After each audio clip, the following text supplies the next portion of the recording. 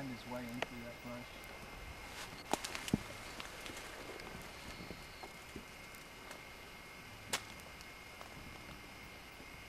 A lot of his hair here.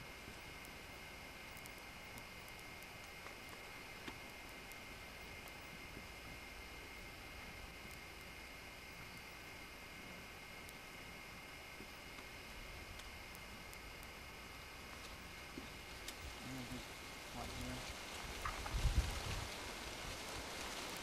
It's like he just patted his place down. Probably used it repeatedly.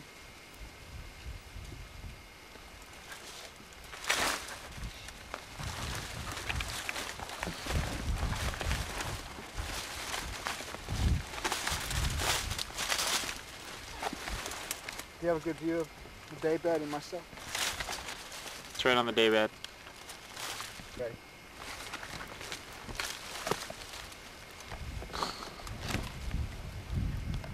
Too zoomed in. Okay, green light on, record? Yeah. Okay, here we go. This twig's in the way. Twig's fine. Good evening. My name is Tim Mallow. I'm a graduate student at the University of Central Florida doing my master's thesis on dispersals of juvenile bobcats through a corridor. And uh, today is November 16th. Two days ago I found one of my cats, number 8, a, a large male tom at 28 pounds, dead at this spot. This is a day bed. The cat was shot by a hunter or somebody with a high-powered rifle probably two or three days before he actually died. He was alive on Wednesday. Today is Saturday. Uh, and he was active. On Thursday I came out and did, uh, sought to obtain his radio location when I discovered that the pulse on his transmitter had doubled in rate, indicating that the mortality sensor had been activated, which means that he had been dead for more than five hours. Um, I got a fix on his position and uh, determined that the location was at this point. It took me 45 minutes to actually find him in here uh, because this is the back side of a, a brush pile, as you can see. Um, almost impenetrable to investigators from most sides, except the side that I'm looking out of right now, which is the open face. This is a classic bobcat daybed. You can see the black padding the black padding here, uh, which, which is just dirt. That's where he was lying. His hair is there. Obviously, he died here. Um, he probably had the gunshot wound for a few, couple days, and uh, probably died Wednesday evening. Um, and um, after he crawled into this day bed to try to nurse his wounds or deal with his pain. Um, he was about a quarter mile from here the day before, so he did walk quite a ways to get in here. Um, you see it's very comfortable. Uh, it's probably pretty dry. Fairly dry when it rains.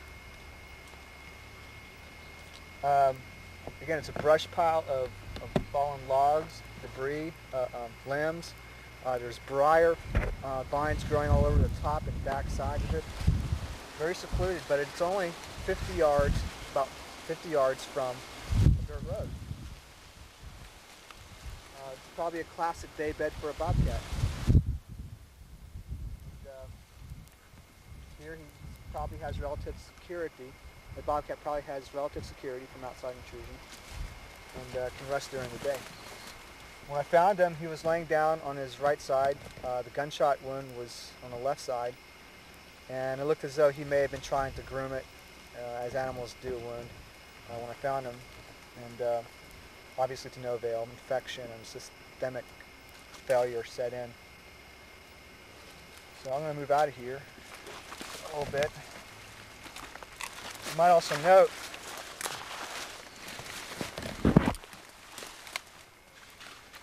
that around where he was lying, there's leaves in here. These are uh, leaves that have come off the vines, dead leaves. And, uh, except where he was laying. There's a number of ways he can come in here. One is he could come under this log here, or there's a couple entryways over there. Pretty much anywhere out in this 120 degree arc he could weave his way in. I suspect that when he did finally decide to come here, he was uh, limping um, on the bad leg because the gunshot wound did shatter his left hip and uh, dis- dis- uh, disintegrated the left hip joint to the leg, left leg. So he was on on three legs when he came in here. Not a big deal. Um, probably suffering quite a bit. I'll pull out of here and let view. Move.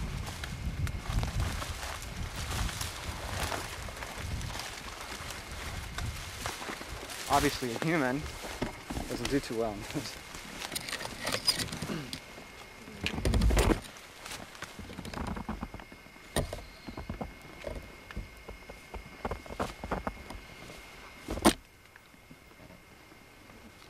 let that off. And uh, put a clean shot distance here.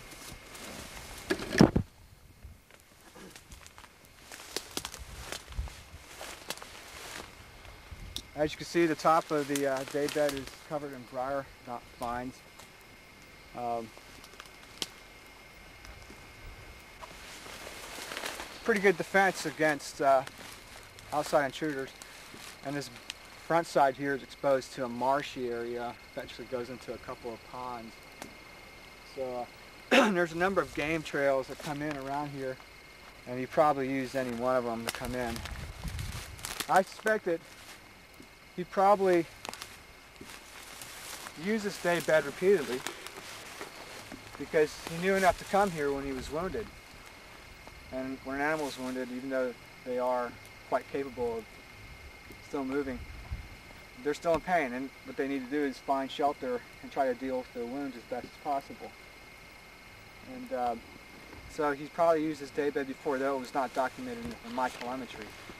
Uh, he knew where it was and came right to it and I'm sure other animals will use it, uh, other bobcats. In fact, the same bobcat used a den about, uh, which is about a half mile from here, that was used uh, previously by a female and her kitten. So they get a feel for what is in their home range, where all the great den sites are at, as well as the routes to travel, and they pretty much know it like the back of their hand, like you know your own house. Okay, bring that camera in here close.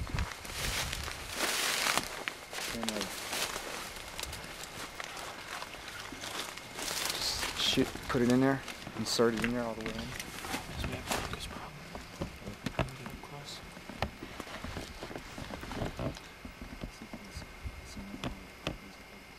I, I've got it as, as sort of like pan around. Yeah, this is about as focused as I can get it, but we're in there. I got some panoramics earlier while you were scrawling around down in there.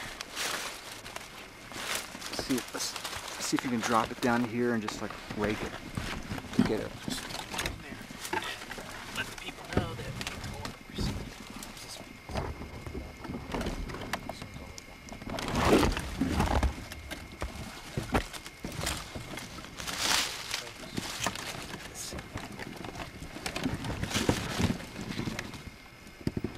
We're panning across the bed.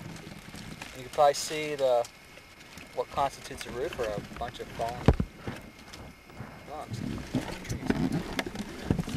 Point of view from the cap. It's like that. He commands a pretty good view of the entryway. If you had to, you could get out real quick. He felt like his safety was compromised in any way.